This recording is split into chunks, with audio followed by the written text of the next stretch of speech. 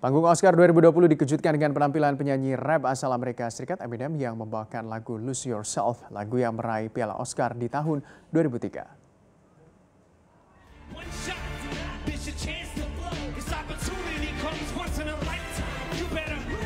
Penampilan Eminem ini cukup menyita perhatian sebab sebelumnya Eminem dikenal enggan untuk menghadiri acara penghargaan. Di tahun 2003, saat lagunya meraih Oscar pun, Eminem tidak hadir dalam acara penghargaan tersebut dan ia diwakili oleh rekan penulis lagunya Jeff Bass.